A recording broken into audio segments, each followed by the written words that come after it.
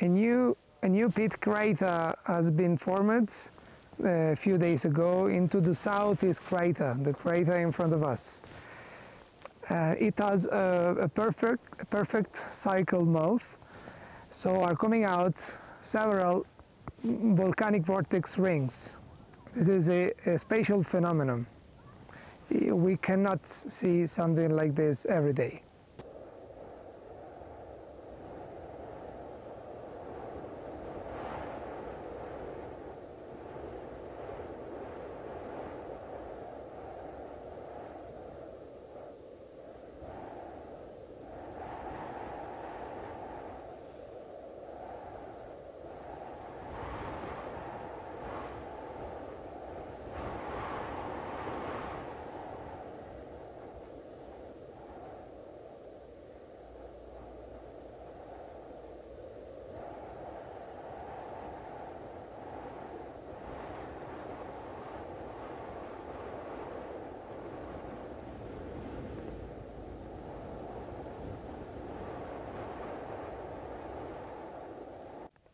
The last big eruption was on December 1st, 2023.